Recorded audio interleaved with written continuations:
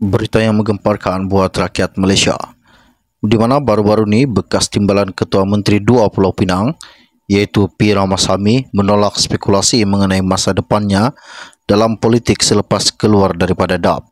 Sebelum enam pilihan raya negeri pada bulan lepas, ketika dihubungi, Ramasamy berkata, dia boleh faham mengenai orang ramai akan membuat spekulasi liar berdasarkan antaran Facebook oleh Setiausaha Agung Perikatan Nasional Hamzah Zainuddin baru-baru ini. Beliau berkata, jadi dia catatkan di Facebook menjumpa kawan-kawan lama dari Pulau Pinang. Tiada rancangan untuk saya menyertai atau apa-apa sahaja. Dan saya boleh bebas sekarang dan biar berehat dan tumpu pada penulisan saya sendiri, katanya Ramasamy, iaitu bekas adun perai selama empat penggal tersebut.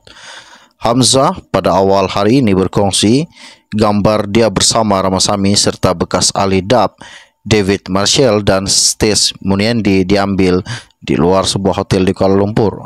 Lantaran itu disertai petikan kata-kata kawan-kawan lama dari Penang dengan emotikon cawan kopi mendorong desas-desus jika Ramasamy telah mendekati PN atau sebaliknya dalam percaturan langkah politik yang akan datang.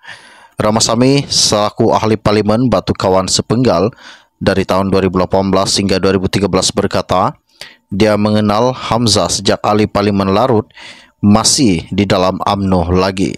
Ramasamy juga berkata ketika dia di hotel yang bersama, dia terserempak dengan seorang lagi bekas exco Kerajaan Pulau Pinang, Dr. Afif Bahardin yang telah dipilih sebagai adun PN Taman Medan. Sekian info ringkas dari saya untuk anda. Kita akan berjumpa lagi. Salam jumpa dan salam kenal. Bye-bye.